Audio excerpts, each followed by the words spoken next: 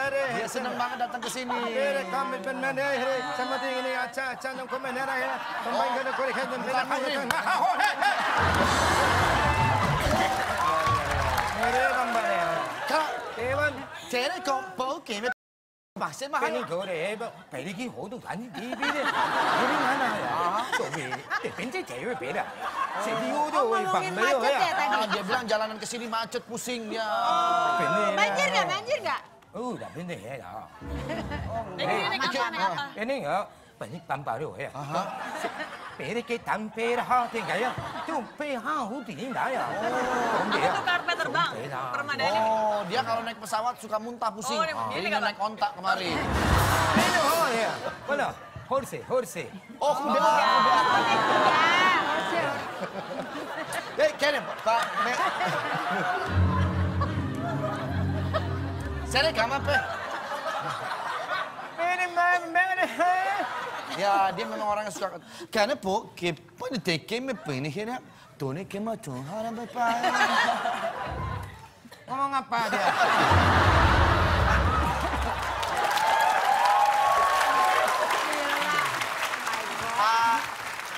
dia mau belajar masak masak Oh mau India. belajar masak sama saya kalau belajar. Orang India, tapi saya pernah kenal sama orang Madura. Oh. Iya, saya lama di Madura, tapi lahir saya dari Bandung. Baca orang Bandung. Loh, saya orang Madura, orang saya lama di Madura dengan sate. Tapi lahirnya di Bandung. Lahir di Bandung. Baca orang Bandung. Kalau lagi kecil saya di Cimahi. Gitu. Karena saya suka dengan orang-orang Madura, makanya saya ngikut sama Madura. Oh, oh. Ini ngomong-ngomong mukanya hitam kenapa ya? Empat tahun yang lalu ke sini nggak hitam begini nih. Ya, Ini kok, nih, kok bisa hitam? Saya mau naik mobil. Mobilnya ninggalin saya, saya kejar-kejar. Oh. Itu, itu yang mobilnya yang suara tang tang tang tang tang. Bajai, bajai. Itu. Bajai saya ngejar dari belakang knalpotnya kena muka saya. Oh, kena asap. Iya. Oh, jadi sebenarnya bukan hitam gini. Tidak hitam sebetulnya, saya mau lap, saya nggak punya elap. Hmm. Saya mau bersihin, saya mau ke sini. Itu tuh ada selendang. lapin, Mbak. Lapin. Ogla. Nama saya Abe, bukan Ogla. Ade. Jadi bisa dibantu nggak deh teman saya nih? Dibantu apanya? Dia pengen belajar makanan masak makanan India. Masak makanan India itu gampang. Yang pertama kali harus disiapkan makan makanan yang berkhas India. Itu yang pertama kali. Ya iya, namanya juga makanan India. Ya. Ah, ah. Tapi sebelumnya harus dicek dulu yang masaknya masih hidup atau sudah mati.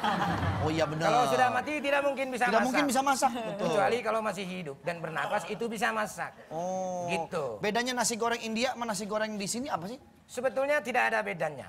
Nasi goreng yang di sini digoreng, di sana juga digoreng. Ya. Cuman Mungkin bumbunya, bumbunya yang beda. kalau bumbunya di sana kebanyakan pakai ganyol. Apa itu ganyol? Anda tidak tahu? Tidak tahu. Ya, saya juga tidak tahu apa itu ganyol. Gitu. Katanya dalam masak makanan India ini harus ada trik-trik ya. Trik apa? Maksudnya ya harus senyum. Oh ya itu Terus harus. suka pakai nyanyian katanya nih. Suka pakai nyanyian Gimana biasanya. sih, gimana sih? Kalau misalkan mau nyanyi, tergantung mau lagunya lagu apa. Tentang nasi goreng. Misalkan tentang nasi goreng. Ini nasi goreng. Ini nasi goreng buatan Sule Prigitiu. Misalkan gitu. Kalau pengen nasi goreng. Kalau pengen nasi goreng. Oh, kalau tergantung niatnya sebetulnya. pengen bubur misal pengen bubur. Kalau pengen bubur, Anda beli saja ke tukang bubur. nyanyiannya gitu. iya. Katanya ada yel-yel ya kalau setiap mau masak. Katanya ada yel-yel ya. Ini saya baru pertama kali orang masak pakai yel-yel. Biasanya kalau yel itu penonton sepak bola. Ini orang masak kok pakai yel-yel. Ya kan saya nanya. Anda sekolah sampai mana? Sampai gerbang jangan-jangan.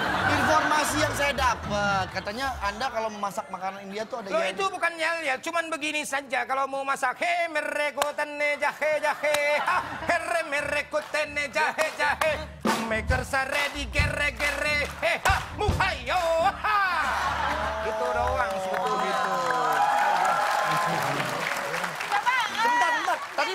Tapi nah, kayaknya belum lagi. bisa diulang lagi? Oh, iya, tidak bisa diulang. Enggak, ini belum pernah dengar. Aku pengen, please, please. Merem mena heja heja hela memel meja heja he mareketa tekame meker sare di kere hujah heja he meroho. Eh, kok beda? Agak beda dikit. Itu tandanya berarti saya ini banyak kemajuan. Jadi ada perbedaan. Ada Bedanya nasi goreng sama nasi goreng di India. Kalau nasi di sana panjang-panjang. Dan di sana dinamain mie. Berarti mie. Berarti mie itu. Nasi. Mana Nasi. bisa mie itu kalau panjang-panjang. Tergantung kita niatnya. Kalau kita lihat mie, kalau niat kita dia dibilang nasi tidak apa-apa. Nasinya juga tidak akan ngambek. Kamu bilang ini kue. Coba ya. Bilang kue.